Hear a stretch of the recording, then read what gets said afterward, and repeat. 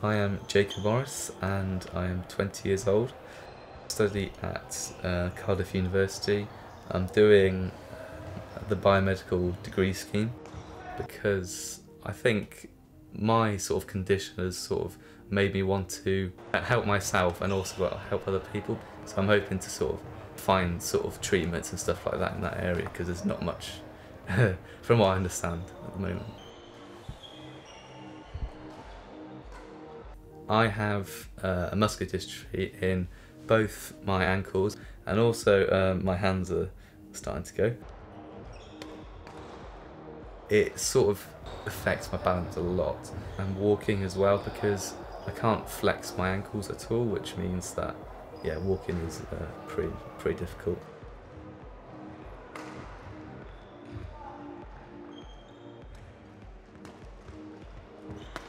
About the age of 11 and my athletics coach said I was starting to run a bit funny. They could see there was a decrease in muscle in my ankle and my calf and they're now looking towards a, a disease called CIDP which stands for chronic inflammatory demyelinating neuropathy. It's quite a complex disease that I have from what I understand. It's to do with an acquired mutation and I've been through multiple MRI scans, been through CT scans, I've been through uh, nerve biopsy in my femur, and I can't um, feel a patch of my leg now. I've been through a lumbar punctures, been going on for eight years now, so.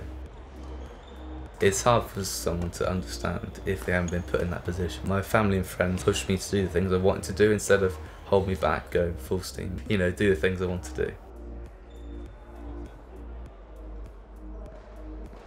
I've been trying to do as much sport as possible my whole, my whole life really. When I was about 11 I uh, started athletics for my local sort of team and obviously my disease sort of progressed throughout that so I was so running was quite difficult. Obviously football became a bit harder using your feet and that sort of thing and now I've, it's brought me to badminton which is I can I found I can get away around the court quite nicely. Um, and especially in a doubles team, I can get the other one to run around and help me out a bit.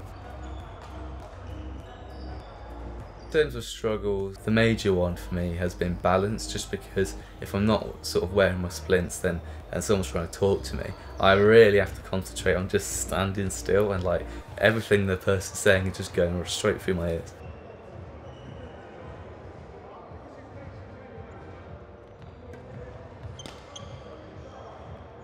Something new is happening, like I've got to go to the beach or something like that, I really have to think about what am I going to wear. Like in terms of am I going to wear shorts? Am I going to bother with splints? Am I not going to bother? Am I going to be brave today and just take them off? You know that sort of thing. It's my case that I haven't really told many people. Quite a nerve-wracking thing. Interacting with people is quite difficult. I'd like to be in control of things, and this is something I can't control. It just get gradually gets worse and stuff. It's progressive. I was in pieces at the start um, when they were saying like, "Oh, it might it might be CMT. You might you know not be able to you know walk in the future." I'm always thinking there's people worse than you. You should be grateful for you know for what you've got and stuff. So I don't think my condition has really impacted how I make friends or like making relationships and stuff like that. They've been really nice about it. They've, um, helped me out and stuff. Like my best mate, um, he's great. Um, so he, he's always helping me out and stuff. Like if he sees I'm just wobbling a little bit, he'll be uh, he's straight there to help me.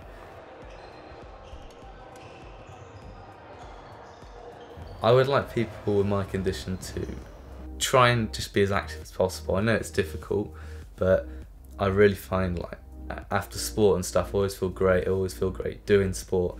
I just think if people got more into it and found something they enjoy doing, I think it just takes the mind off what they've got.